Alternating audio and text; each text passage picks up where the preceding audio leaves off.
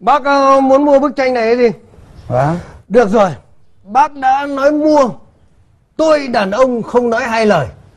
Tôi sẽ bán cho bác. Nhá. Bức này ấy, giá của nó là 100 à không. 200 nó có mua nổi không? Vừa mới đàn ông nói một lời. Lại. À tôi nói lại. Chú cũng lươn lẹo lắm đấy. Nhưng mà không sao. Anh có tiền 200 thì 200 này 200 triệu đấy chứ không phải 200 nghìn đâu nhá. Tôi có 180 tranh của tôi là phải 200 không bớt nhá. À ý tôi là tôi vừa bán 180 con bò Được hơn 2 tỷ đồng. Cho tôi luôn 10 bức như thế này. Bác vừa nói cái gì? Này này này. Cho 10 bức tranh của tôi chứ không phải là trứng vịt lộn đâu mà mua một lúc 10 bức mà tôi là nghệ sĩ chân chính có bao giờ làm tranh chép đâu mà bác đòi mua một lúc 10 bức giống nhau? Hả? Ờ, Thế thì tôi mua tạm bức này vậy. Bức này bức này không bán. Chú trở mặt như trở bàn tay ấy. Thôi được Tôi thêm cho chú 50 triệu nữa. 250 triệu. 250 triệu? Tôi không bán 300 triệu. 300 triệu là 300 triệu em. Em cũng không bán. 350 triệu. 350 triệu cháu. Cháu không bán. 400 triệu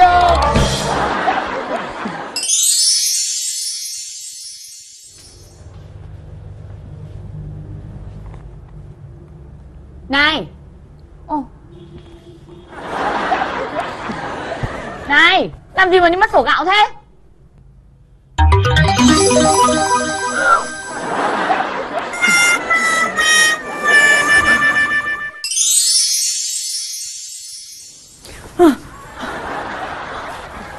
Này hả?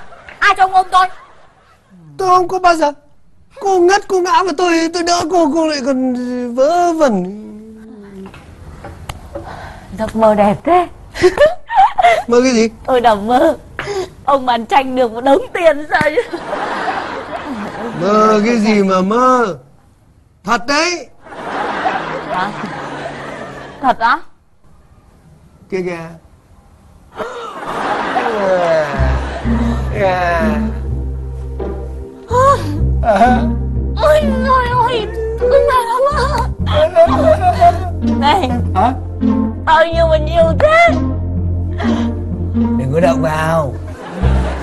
550 triệu đấy. Nhớ. Cũng may là tôi hãm kịp. Chứ cái lão ấy mà lão ấy tăng thêm một lúc nữa có khi mình vỡ mồm. Vỡ cái con khỉ ấy. Càng tăng thì càng tốt thế sao? Nhưng mà vấn đề là tôi đau đầu. Có hiểu không? Đau cái gì mà đau? Cô nghe đây này. Một ngày tôi ăn bốn bữa sáng chóng lòng tiết canh trưa thì nhậu nhẹt bia bọt với mọi người. Tối về thì tôi ăn cơm bình thường với cô. Còn đêm thì hôm thì rượu ốc hôm thì rượu mực. Tiêu mãi cả ngày như thế mà cũng chỉ hết có một tờ đấy thôi. Đấy. Thế mà lão ấy cứ tăng ầm ầm lên như thế. Tôi hình dung là nếu mà không hãm lão mà để lão ấy tăng lên khoảng vài tỷ thì có khi tôi phải ăn đến khoảng năm ba nghìn sau công lên mà vẫn không hết tiền kinh Này Ông không biết tiêu thế Thì để tôi tiêu cho. Không được nhé. Tôi với cô ly thân rồi. Ờ. Làm sao mà chia cho cô được? Biết thế Chả lý thân nữa ôi trời ơi khổ thế tự nhiên lại ly thân. Bây giờ không biết phải giải quyết làm sao cái chứ này Không? Tôi đi ngủ đây À, ê, ê, ê, ê, ê. Ừ, cứ ngồi xuống đã. Ừ. bây giờ tôi biết là nhờ cô việc này nó cũng khó khăn lắm. Nhưng mà cô làm ơn làm phúc cho tôi được không? Anh định làm gì? Ờ thì bây giờ cô nghĩ cho tôi cách xem là làm thế nào để tiêu hết số tiền này. Anh nói thật á? Thật? Sao? Cô thôi tôi biết là cái việc này nó rất là phiền toái với cô. Cô cô cố gắng giúp tôi hả? Không Không phiền. À. Không phiền thật à? Quên.